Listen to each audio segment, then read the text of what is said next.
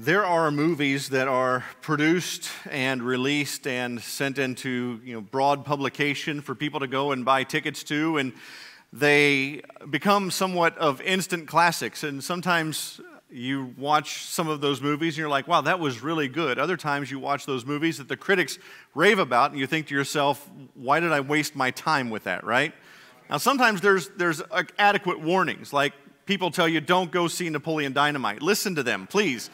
Please listen to them, right? Dumb, dumb movie. People say Nacho Libre is really stupid. Don't waste your time with that. Don't listen to them. Nacho Libre is wonderful, right? No, I'm,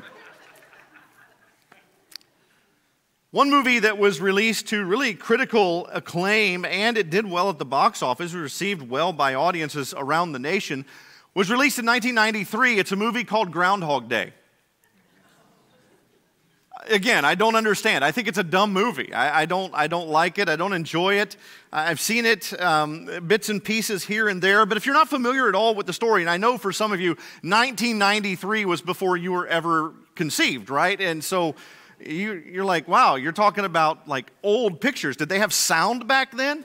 Um, 1993, if you're not familiar with the story, Phil Connors is an insufferable meteorologist who gets stuck in Punxsutawney, Pennsylvania when he goes to cover Groundhog Day to see whether or not the groundhog would see his shadow. And he gets stuck in this time loop there where he lives the same day over and over again.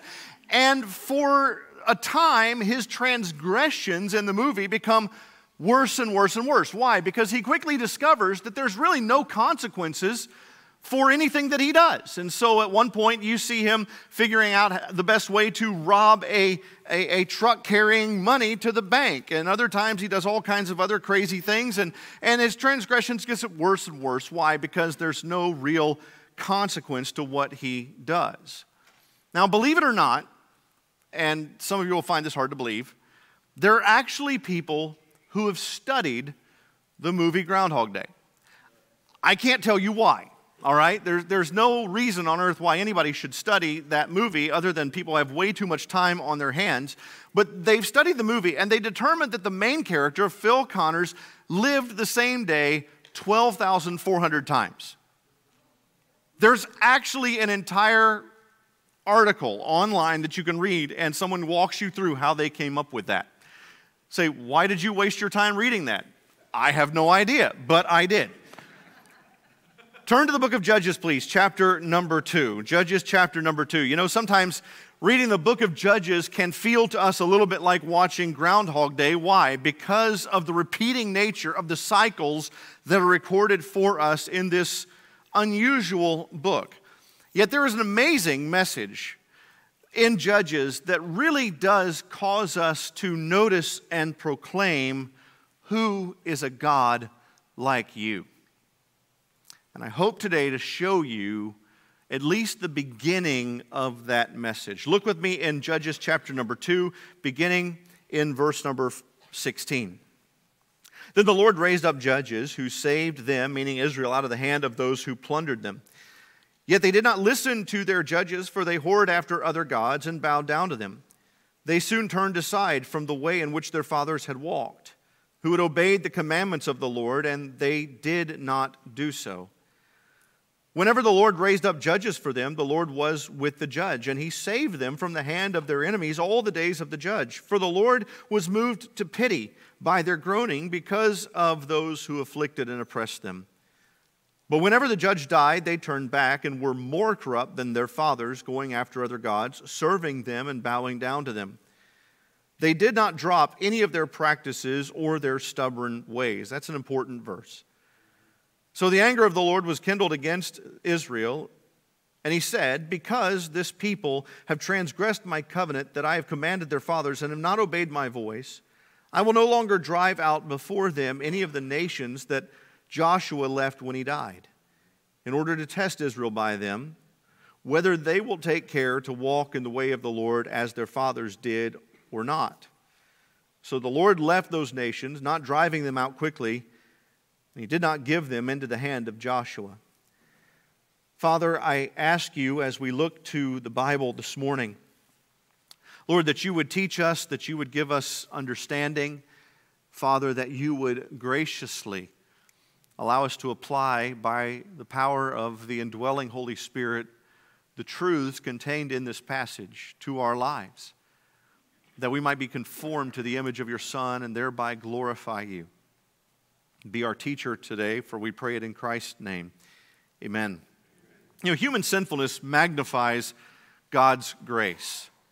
As we look at the passage that we have read and will consider this morning, that is a message or the message that I think sticks out most prominently. We see God's grace in verse number 16 stand out right from the beginning. It's almost as if God is, is allowing us in the middle of what is a very dark book, in the middle of what is a very dark passage of Scripture, detailing the sin of the Israelites. It's almost as if God shines the spotlight for us on His grace. And, and He says, Listen, pay attention. Here is my grace. Don't miss my grace. In the midst of human sin, sin that is running rampant. Listen, you cannot read or study the book of Judges and miss the profoundness of human sin. These pages are essentially a catalog uh, of sins, not just the sins of ordinary Israelites going about their days in the land.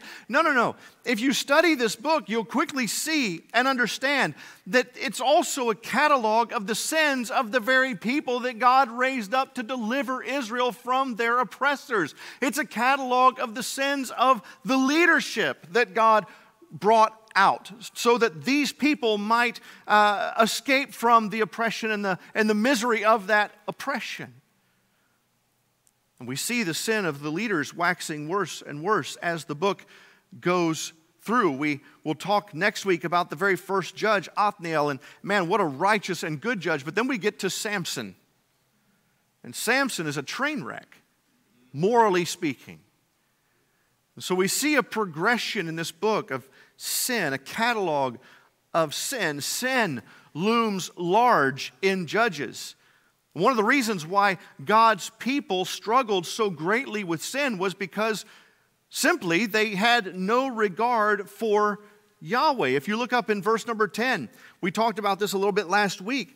And all the, that generation who were gathered to their fathers, generation of Joshua and the generation after, there rose another generation after them who did not know the Lord. And last week we pointed out that a lot of times this phrase is taken to mean that this generation did not teach the next generation about Yahweh. They did not, they did not teach them about God. They did not teach them what God had done in delivering them from slavery in Egypt. They did not teach them uh, who God was, his attributes, or really the, the requirements of the covenant that God had made with the nation. And that's not necessarily what this means. What it really implies is this while the generation uh, before the generation given to us in Judges may have done well in communicating to their children about God and about the covenant and about all that God had done, that generation made a volitional choice. They exercised their will to say, you know what? Doesn't matter to me.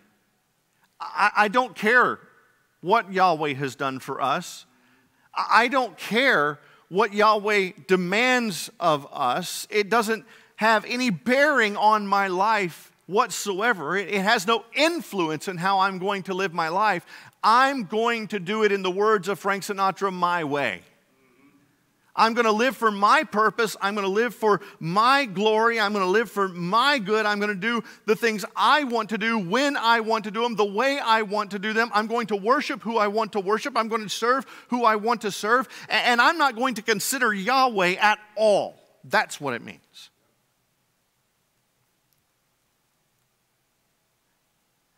And so they had no regard for Yahweh, therefore, they, the Bible says, abandoned him. Because they didn't regard him, they didn't see a need for him, and so they simply turned from him to these other gods. And one author put it this way amnesia produces apostasy. Because they would not regard the Lord, they turned from him. And so, as we consider really the message of Judges, as we consider the message of this passage, then we often then need to see how human sinfulness affects us, but we also need to see human sinfulness, the depths of human depravity, to really understand in a clear way how gracious God is. Human sin magnifies God's grace. But ask yourself this question How often do I take God's grace for granted?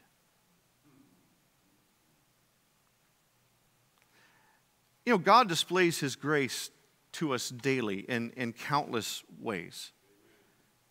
The entire human race lives under the umbrella of what we call God's common grace.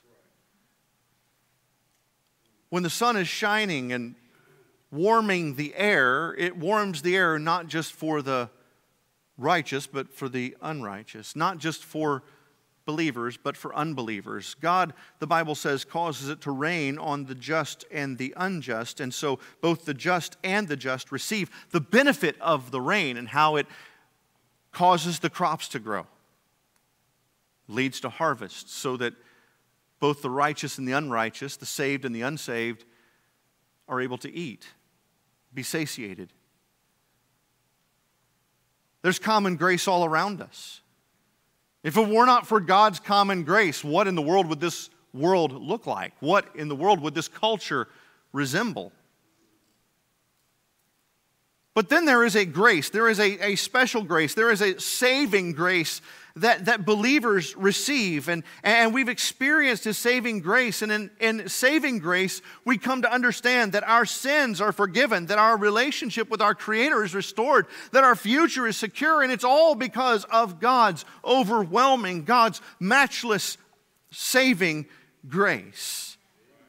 And yet we still take that grace for granted. Think about that for a moment. And you will never understand the magnitude of God's grace that you have received in salvation until you know the depth of your own sinfulness. This was part of the Apostle Paul's desire as he wrote the book of Romans. He wanted his readers to see the hopeless condition of man so that they could understand then the need for salvation and turn to Christ alone. And in trusting Jesus, what happens? They receive that saving grace. And at the same time, Paul did not want these people who had received the saving grace of God to believe that because they've received this grace that they could sin freely and frequently and, and therefore magnify God's grace. Why? Because in Romans chapter 5, he writes what? Where sin abounds, grace does much more abound. But then in Romans chapter 6, he says, Don't get the wrong idea. Those of you who lean towards a, an antinomian understanding, no, no, no. Uh, you, you're not set free from sin, and you have not been given the grace of God, which uh, covers and erases your sin and, and makes you right before God. You have not received the imputed righteousness of Christ so that you can go out out and live in sin. He says, God forbid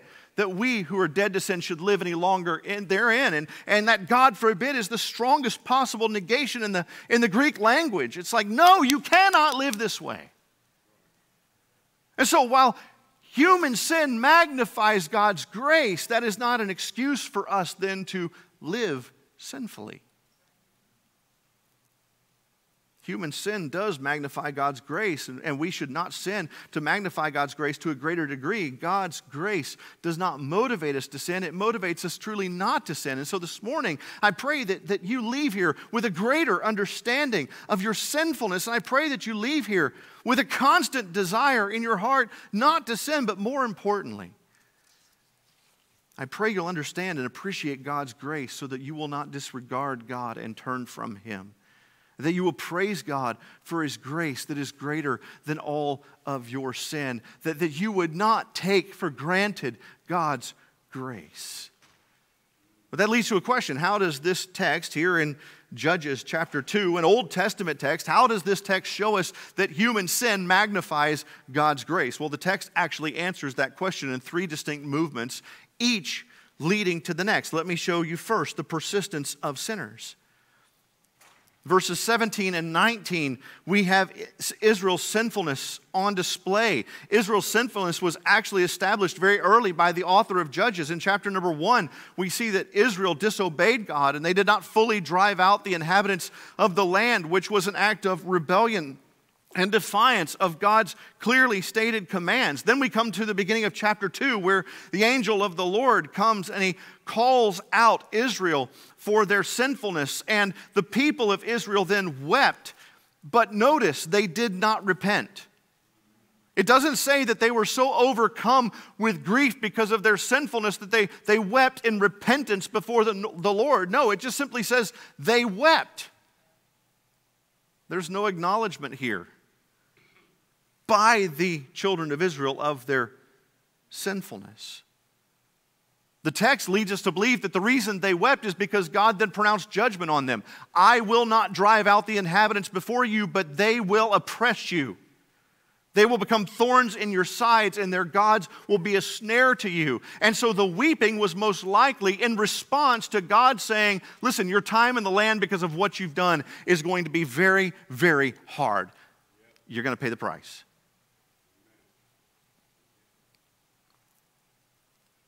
Now we come into this text and we see more detail about their sinful actions. And I know that in today's culture and in the, the, the modern church, it's not copacetic, and I know it's not cool to talk about sin. We talk about mistakes, and we talk about brokenness, and we talk about all this stuff. We use every word uh, possible except sin. But listen, sometimes you just got to call it what it is it's sin. And we can't ignore it. These people sinned against God.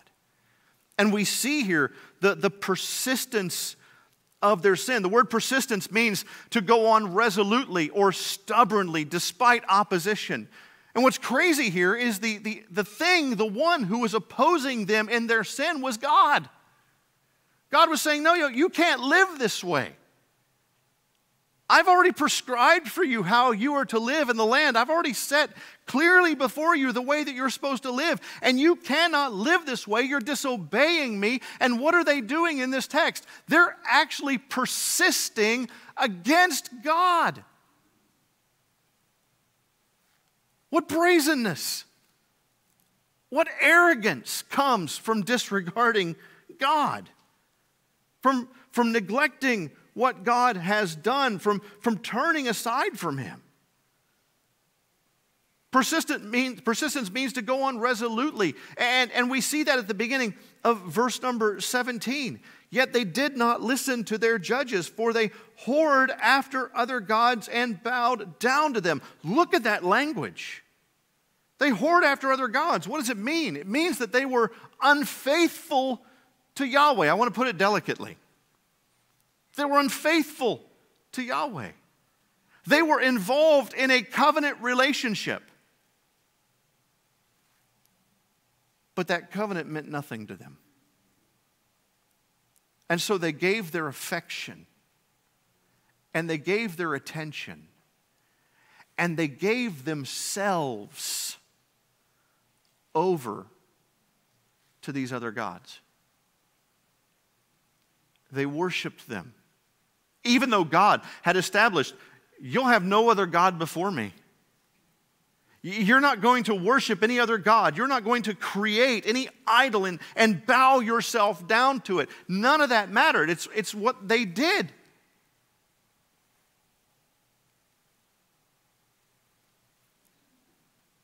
And they continued in it. Verse number 19. Look what it says. But whenever the judge died, they turned back. It's the second time we've seen this idea of turning aside or turning back. The first is up in 17, second is in verse number 19.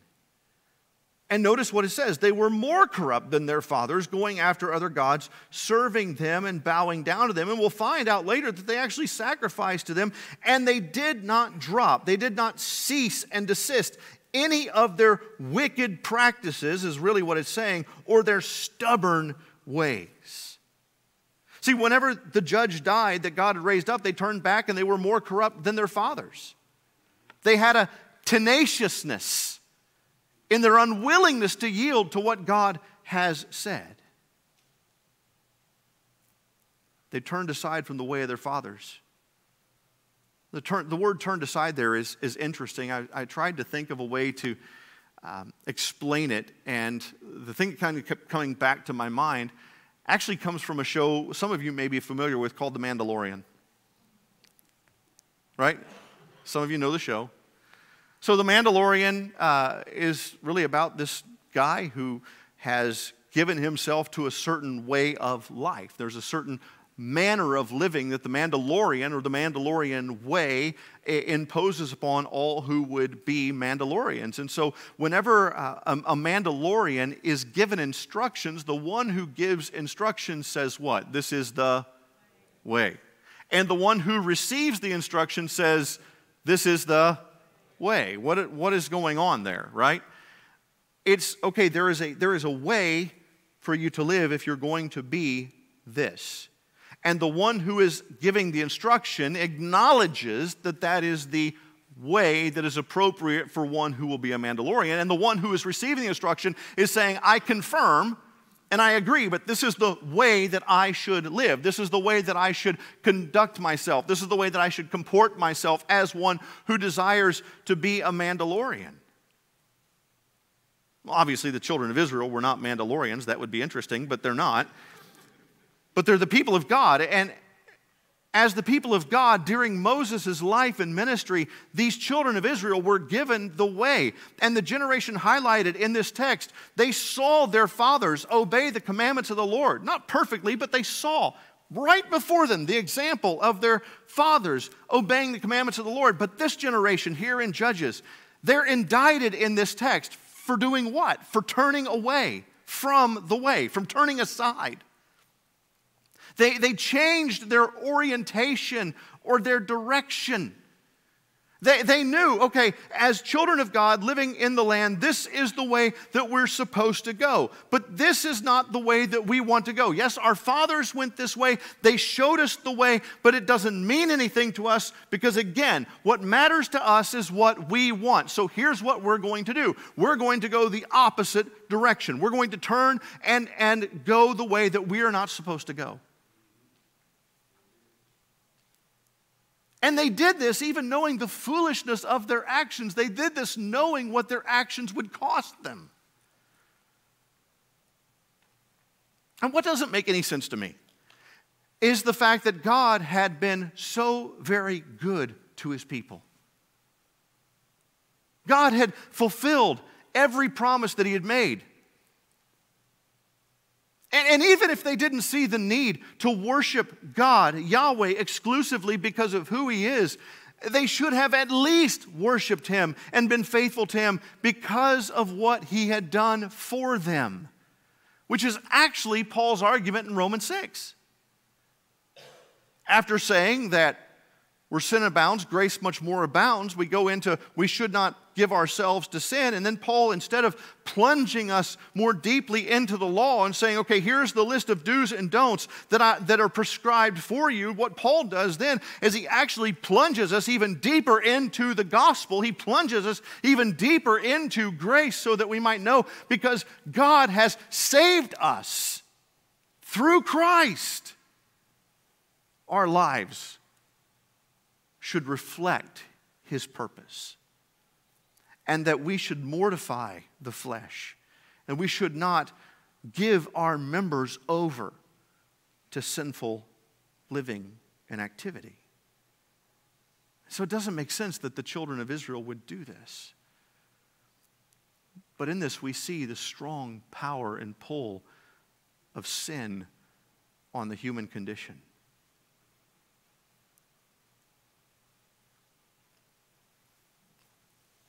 And we know about that, don't we?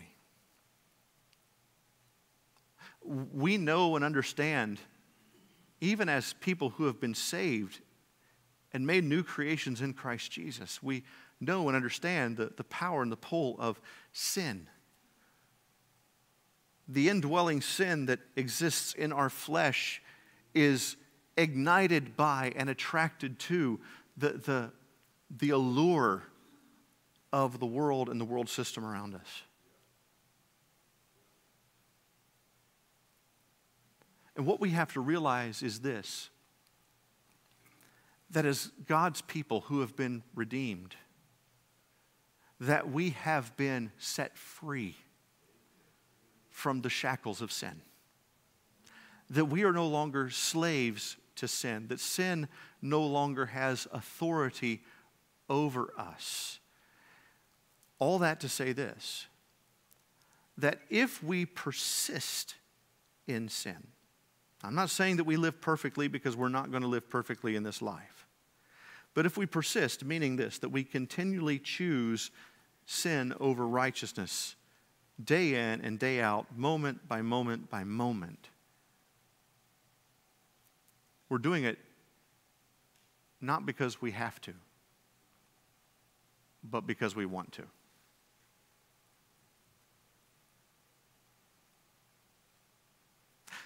Now, that doesn't, you know, hit us in the feels, right? That, that's, that, that bothers us because we want to sit there and say, no, no, no, no, no, no, I sin because I have to.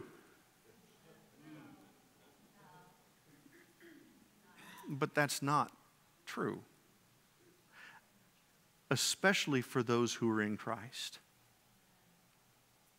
Oh, I cannot wait to, to bring you guys to Romans later on this year because we're going to see some things in Romans, and it's going to be fun. When we get to chapter 6 and we get to, into the first part of chapter 7, we'll see some things about this. But understand this that if you're persisting in sin, you're not doing it because it has authority over you. So the text shows us the persistence of sinners, which then moves us to observe the consequence of sin. Verses 20 through 21 and 23, we see that God here warned the Israelites against persistent sinfulness. I'm not going to take you there right now, but if you were to go to Deuteronomy chapter 28, and I, I, would encourage you strongly this week to write down Deuteronomy 28 and read and really think about Deuteronomy 28 in light of what we are seeing right here. Because in Deuteronomy 28, God just lays it out as clear as possible for the, for the children of Israel so that none of them could plead ignorance. It's right there. He tells them what, they're going, what he will do for them so long as they walk in the way that he has prescribed for them. But he also tells them what will happen to them if they turn from that way to the right hand or to the left. He, he just lays it out as clear as a bell. And so God had warned the Israelites against persistent sinfulness and the result of their sinfulness was oppression and persecution from other nations that would plunder them. The, the word plunder means to, to be raided. It's the idea of, of, a, of a raider or a pirate who would come and, and, and take the spoil from them. But why were they going to deal with this? Why were they going to deal with this kind of oppression? Well, simple, because the Bible says the anger of the Lord was kindled against them. In verse number 20, the author here used powerful language by telling us that they transgressed. The word transgression has the idea of, of understanding that there is a clear line, if you'll let me put it this way, in the sand. And in seeing that line, it is communicated do not cross that line. And the person who transgresses knows that they must not cross that line. They see the line clearly, and it doesn't matter to them. They step over it, and they do so not because they were shoved over it, but because they want to cross it. They transgressed. They did the things that they we're not supposed to do. What's an example of those things? Well, we see here that they, again, they whored themselves after other gods, they bowed down to them, they turned aside, they worshiped them. They did not drop these practices or their stubborn ways. Turn over to chapter 3. We'll see another thing that they did. Verse number 6. Not only did they not drive out the inhabitants of the land, but their daughters they took to themselves for wives. In other words, they, they took daughters of these pagan nations for wives. They were told explicitly, do not intermarry. Their own daughters they gave to their sons. So the Israelites were giving their daughters to these pagan men. and they served their gods. Verse 7 the people of Israel did what was evil in the sight of the Lord. They transgressed, they did not obey God's voice. And the Bible says that God was angry. Why was he angry? Was he just pitching a fit? Was he having a temper tantrum because he didn't get his way? I told you what to do, you didn't do it, and so I'm, I'm mad, and I'm going to I'm going to show you that I'm mad. And no, that's not it. He was angry because actually in Exodus 20, he describes himself not just there, but at other times in the Pentateuch as a jealous God. I am, he says, a jealous God. This is why he's angry. you might be thinking, well, isn't jealousy a sin? Isn't anger a sin? Let me ask you this question What would you think if you learned of a man who discovered that his wife of any length of time at all was having an affair with another man? And this man was a loving husband, a faithful husband, a kind husband, a devoted husband. He was doing all he could to love his wife as Christ loved the church. And none of that mattered to his wife. His wife completely ignored, disregarded the, the vow that she made completely disregarded the covenant that they made together, and she gave herself to another man. And upon hearing that news, the, the, the faithful husband, the good husband, simply says, mm, You win some, you lose some. Them's the breaks sometimes. What would you think of that man? Would you question whether or not he truly loved his wife? Of course you would. Why? Because in getting that news, the response of a sane person isn't, ah. it's not this nonchalant reaction of, I don't care. No, a man who loves his wife is going to be what? Righteously jealous. Why? because he obligated himself to her and she obligated him, herself to him, and she broke that obligation. She broke that claim that he had on her. One commentator said jealousy is love burst into its proper flame. God was jealous and angry here because he loved his people. One author said to have a God who loves his people is to have a jealous God, and to have a jealous God is to have an intolerant God. Love divine is an absolute claim. So God was right to be angry. But we also see then sin carries a price. in the New Testament, the Bible says the wages of sin is death. The reality is this that God created you to love Him, to serve Him, to worship Him, to be loved by Him. But every human being is born in sin. And as such, we are separated from the loving goodness and saving grace of God.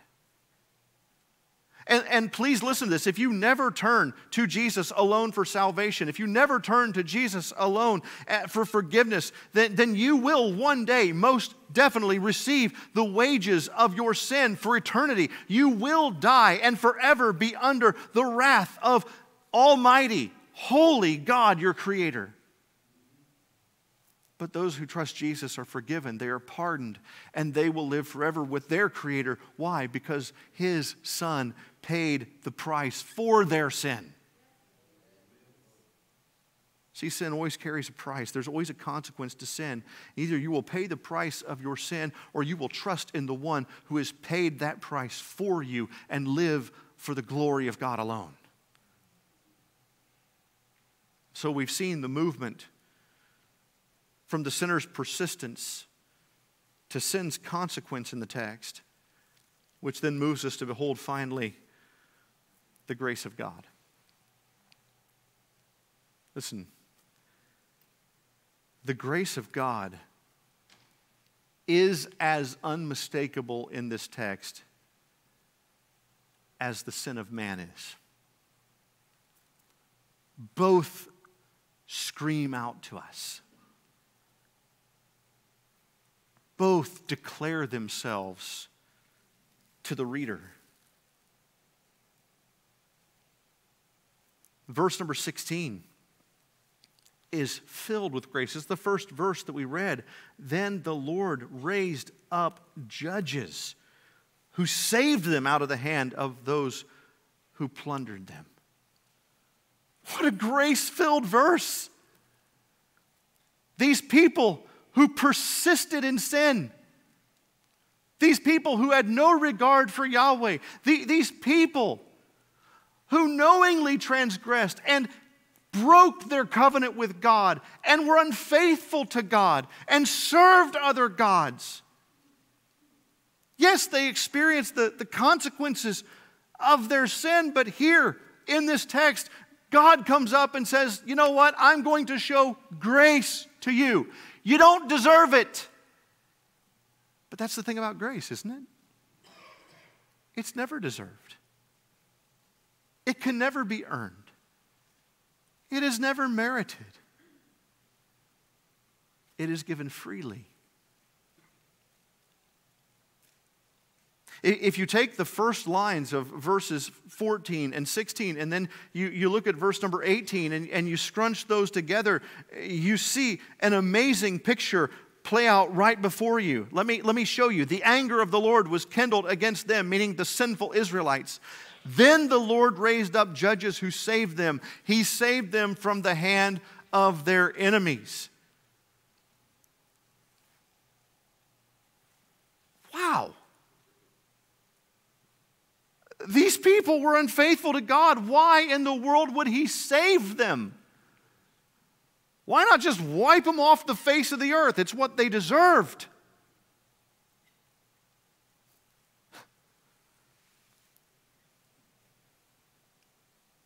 But as always, the answer is found for us in the text. Notice with me, verse number 18. Whenever the Lord raised up judges for them, the Lord was with the judge. He saved them from the hand of their enemies all the days of the judge. Here's the explanation For the Lord was moved to pity by their groaning because of those who afflicted and oppressed them.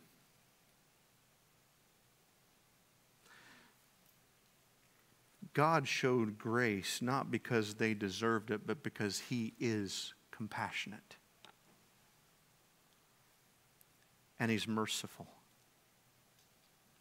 We see that in the phrase that he was moved to pity by their groaning. The, the word groaning is actually only used three times in the Old Testament, the Hebrew Old Testament. It's found the first time in Exodus 2. It's found again, I think it's in Exodus 6, and then it's found again here in Judges chapter 2. And the idea is this to be so miserable in your condition that you can't really express it in words. Some of you know when I was a child, I had spinal meningitis. Um, had it pretty bad, almost died. The Lord was gracious to me and brought me back to health. And I was in the hospital for two weeks. And uh, in the hospital, of course, they were always pushing IVs, different fluids and medications into my body to drive out the infection. And uh, one of the, the IVs had been in my arm for a considerable amount of time. And uh, this nurse, who I affectionately refer to as Nurse Ratched, came into my room one night and said, Hey, uh, Matt, that IV's been in your arm for, for a long time. I need to take out that needle and, and put in a new line and a new, new needle as I uh, push this medication in your arm. Well, I was nine years old. What was I going to say? Get away from me. Um, no, so I, I, laid there and took it. And I, I, hate needles. I don't like being stuck by anything. As a nine year old, I hated it. As a 49 year old, I hate it. I go to the doctor now and they draw blood, and I'm like, mm, you know, I just, if I don't see it, it's not actually happening, kind of thing. And, uh, and so this nurse came in and, uh, and she took the, the, the one line out and she put a, a new line in and um, she left. And the night went on, and throughout the night, I had this overwhelming pain in my arm. It was so bad that I remember just laying there through the night, not having the words to describe or express what was happening, and I just moaned all night. I groaned all night long. See, what happened is the nurse missed the vein. And so she put it right into my arm, and so my all of that medication was filling up my tissue so that my arm the next morning looked like Popeye's forearms. I mean, I was, you know, had this massive forearm over here. And, and, your arm's not supposed to do that. And so it hurt really bad. And, and so I was just groaning all night. This is what the children of Israel were doing. They, they were groaning. But notice this they groaned because they were miserable under oppression, not because they were repenting of their sin. They still hadn't learned anything.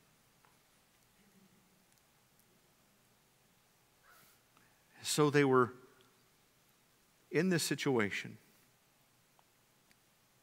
And God, the Bible says, was moved by pity or to pity by their groaning. This is grace. The Bible also says here that in verse number 22, he tested Israel. Now, you look at that and you say, how in the world does testing demonstrate the, the grace of God? Well, by leaving the Canaanites in the land, God showed the Israelites something very important. He taught them a very important lesson. And that is this that they needed a righteousness that they themselves did not possess. Their law keeping was not the hope of their ultimate salvation. They needed to look to another to do for them what they could not do for themselves. See, their sin revealed their need for a Savior. In the same way, in the New Testament, Paul says what? That sin reveals to us our need for Christ.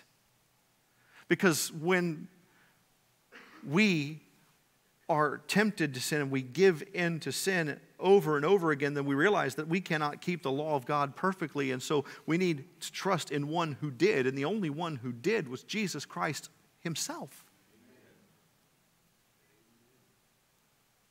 The Puritan John Newton said, But when after long experience of their own deceitful hearts, after repeated proofs of their weakness, willfulness, ingratitude, and sensibility, they find that none of these things can separate them from the love of God in Christ Jesus becomes more and more precious to their souls. They love much because much has been forgiven them. But he also says, in a word, some of the clearest proofs they have they have had of his excellence have been occasioned by the mortifying proofs they have had of their own vileness.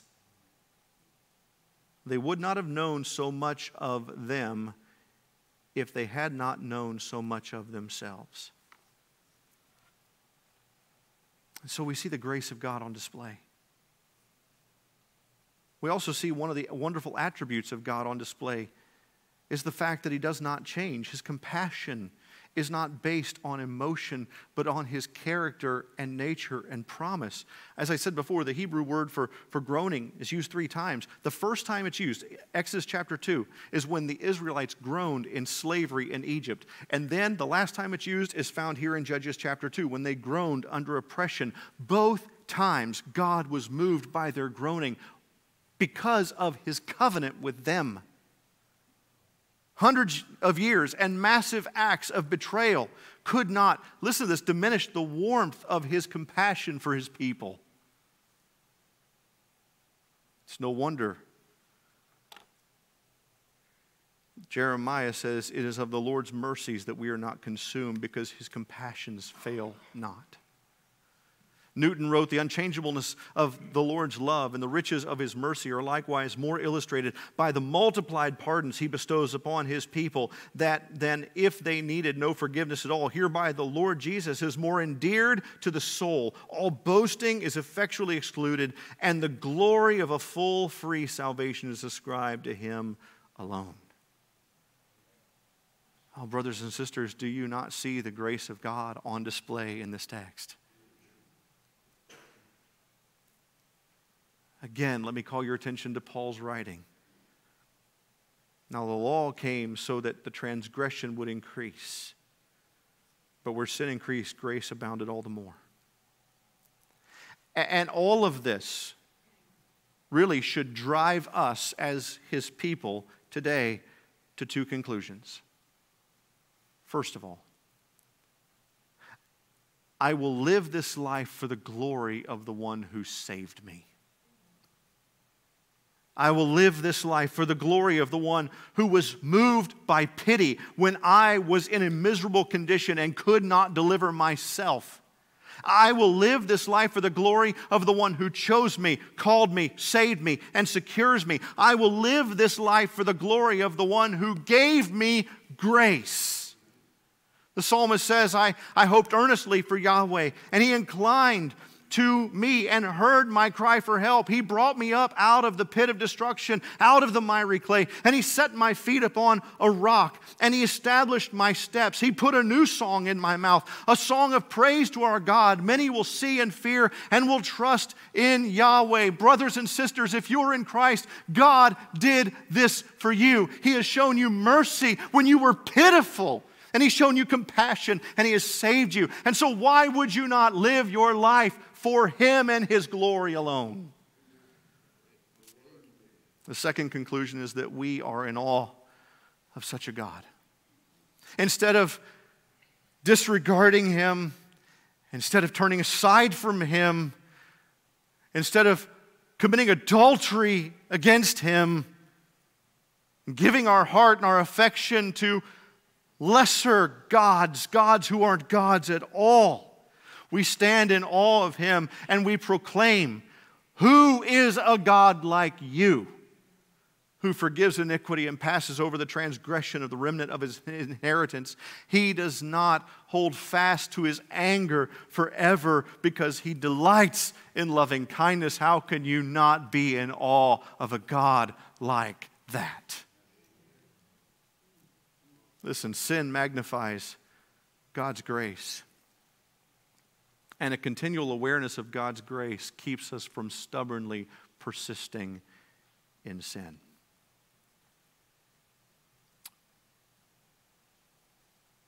Many years ago, a song was written.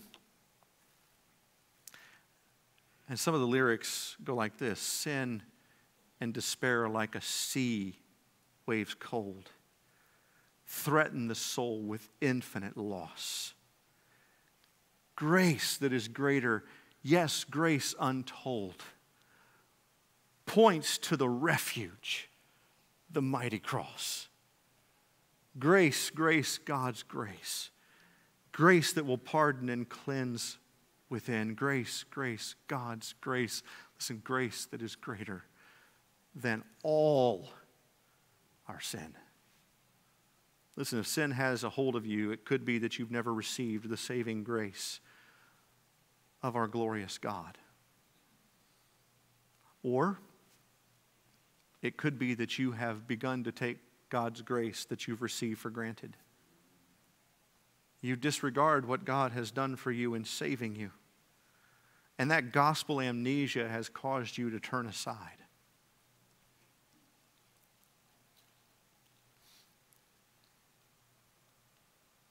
But, brothers and sisters, if I just described your condition, look steadfastly at the grace of God you've received. Remember what God did for you. And that will drive you to live your life for His glory. And if you've never trusted Christ, please understand this. This is true for everybody in the room. You need Jesus. Every one of us, whether we're saved or unsaved, we need Jesus. You need the grace that Jesus can provide through his sacrifice for your sin. Human sin magnifies the grace of God. I hope you've seen that today in Judges chapter 2. Father, thank you for our time. Lord, be glorified in the response to your word.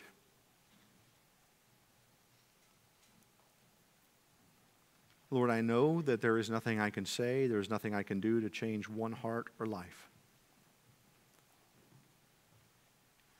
Your word is powerful, but any change truly comes from your Holy Spirit. So, Lord, if there are those here today, and I don't know the, the, the true condition of anyone sitting before me, my own heart deceives me. But Lord, if there's anyone here in this moment, there's anybody watching who has never put their faith and trust in Christ, I pray, Father, that you would help them to see beyond any doubt their need for a Savior.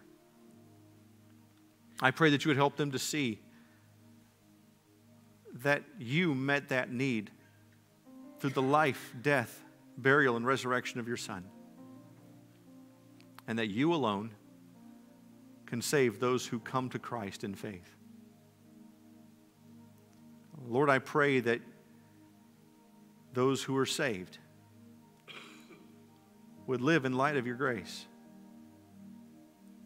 that we would not stubbornly persist in sin, but Lord, that we would live for your glory and purpose. So have your way in every heart and life, for I pray it in Christ's name. Amen. With heads bowed and eyes